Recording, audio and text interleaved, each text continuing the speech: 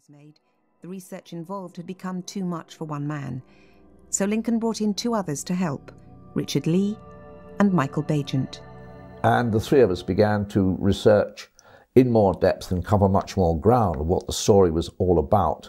And that led eventually to the hypothesis, which we presented in a book published in 1982 and which was called The Holy Blood and the Holy Grail. Now, it seemed very much a case that that book touched a nerve back in 1982 part of the zeitgeist, if you like, and it created a huge reaction.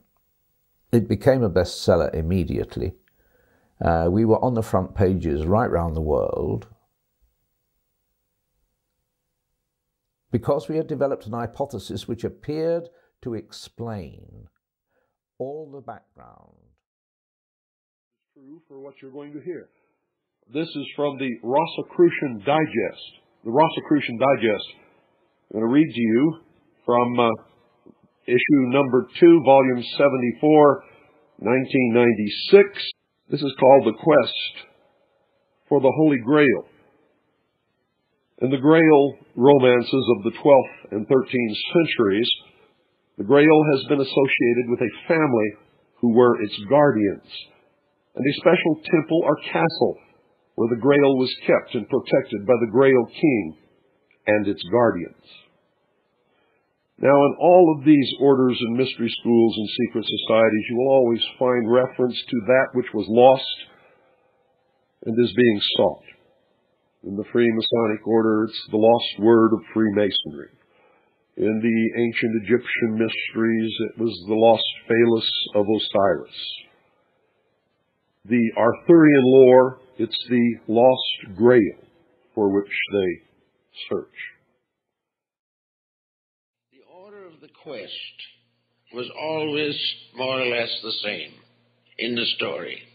It was added to a little subtracted from a little by different writers, but it centered around three distinct objects. One was the Holy Grail, which was the most important of the hallows, as they were called. The second was the spear of the centurion Longinus, which is supposed to have pierced the side of Christ. And the third is the wreath of thorns. But in the whole picture of it, one point stands out. It is always a search. The search was for light. The search was for union with reality and was a great dedication, a pilgrimage toward reality. And this search had to be a personal dedication.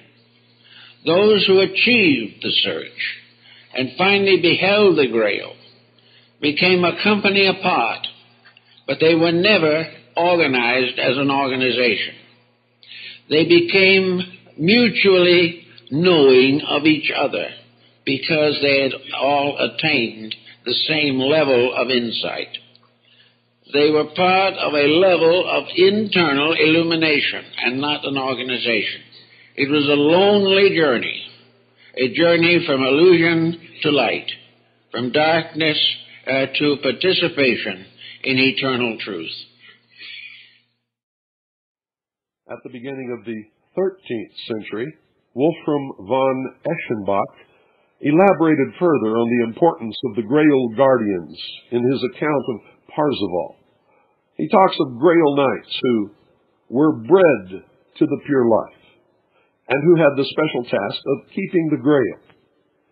They were summoned to serve the Grail after they had passed a test of worthiness.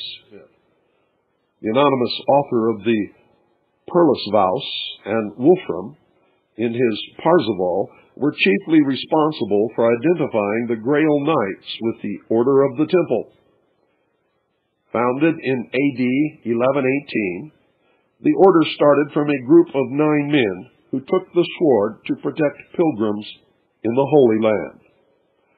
It grew in size and influence over the next two centuries, acquiring fame for exceptional courage and fighting skill, and for high moral conduct. Or at least, that is the perception. That the Templars also amassed great wealth through bequests of property, military success, and by acting as bankers, traders, and security agents in most of Europe and the Mediterranean is also part of history. In fact, the Knights Templars were the first international bankers. Mention has also been made of their influence in the building of the great cathedrals of Europe.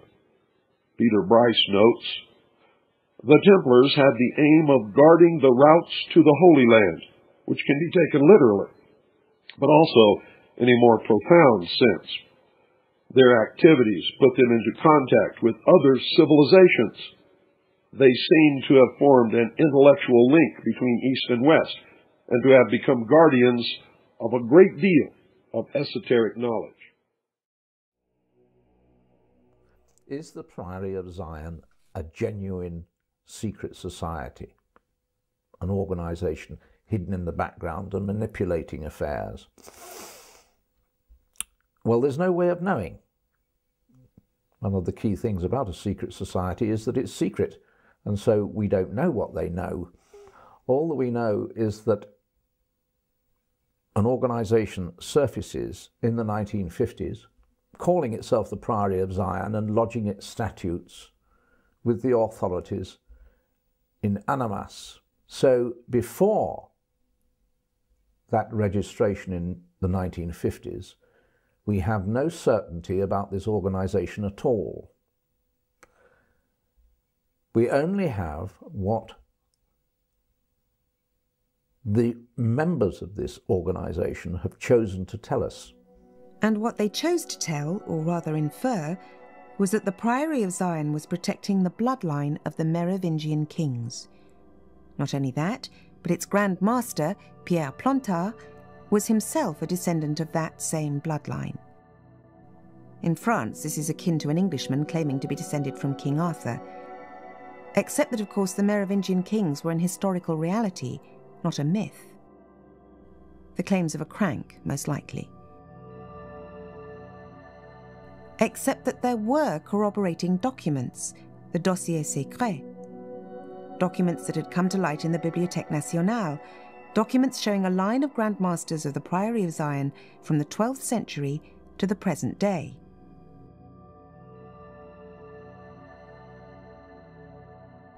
Fake, surely. Except that when researched by Lincoln, Baigent, and Leigh, it was found that each of the seemingly unrelated names on that list was subtly connected in ways which would require a very deep knowledge of European history for anyone to manufacture. Nothing was ever straightforward, nothing could ever be proven, and yet a trail of tantalizing clues and convoluted pathways pointed to something being protected, something being preserved down through the ages. Who observed on occasion that the way to truth was the journey of a lonely person to that which is eternally alone. It was this aloneness that seems to have been the power of the Grail. Each individual had to call entirely upon his own internal resources. He had to purify his own nature by a vow taken only to the very highest part of himself. He must slowly climb that mountain between his own material nature and the attainment of the enlightenment of his inner soul. Assuming that the person achieves this type of dedication, it might be regarded as an order of knighthood. He becomes the first uh, grade of the search for the Grail. And all the knights dedicated their sword handles, which were the form of the cross, to the good fight, the battle to overcome the darkness in self and to protect the light in others.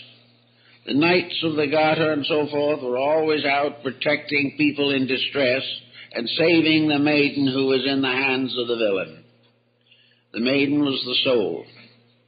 which is always in the hands of the villain until the individual redeems himself. Now, the author of the Perlesvaus betrayed by the content of his story of Percival that he belonged to an order of soldier monks. So let's go back and talk about that. First is the presence or the belonging to an order of soldier monks. Then militant orders to defend the faith. The presence of a conclave of initiates in the Grail Castle who were familiar with the Grail and Parsifal's meeting with masters who could summon 33 other knights simply by clapping their hands. The knights that appeared had Templar insignia and seemed of an age. The mysterious or magical connotations implied here would not sit well with any kind of orthodoxy. Such references, however, and the writer's detailed knowledge of close combat and its effects on the human body clearly pointed to Templars as the Grail Knights. Wolfram was much less reticent to reveal he had some connection with the Templar Order. You see, he was either a Teutonic Knight or Templar, and probably followed the Crusader track to the east in his poem. He talks about the Grail being guarded by knights who are the purest, who seek adventure as a test of their worthiness, and who were also sent to be rulers of countries. That's a key piece of information. Who were also sent to be rulers of countries. But one thing we know is that in England, the Order of the Garter was formed not because of an accident to a lady's garter, but because the original meaning of the word, as it appears, was gradually, uh, we might say, uh, colloquialized. It was the Order of the Garter the protector. And if you have visited the chapel of the Garter at Windsor, you will see the thrones of those who were the members of the order. And according to the ancient order, as recorded by its first great historian, Sir Elias Ashmole, back in the 17th century, the original law, laws and rules for the order were taken from the Black Book of Hermes on the, on the deportment of kings. And uh, the entire structure is so constituted and the thrones are so arranged that it represents really a heavenly temple in which all the gods of antiquity were seated. It is also a very appropriate symbol of the first great League of Nations that it was a symbol of the union of the rulers of the world for the maintenance of peace. The Knights of the Garter were all rulers. The Order of the Garter was an international order of leadership.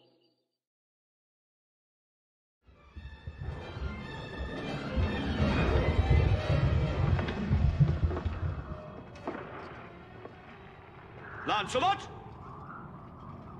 Lancelot! Lancelot! Lancelot! Lancelot! Lancelot!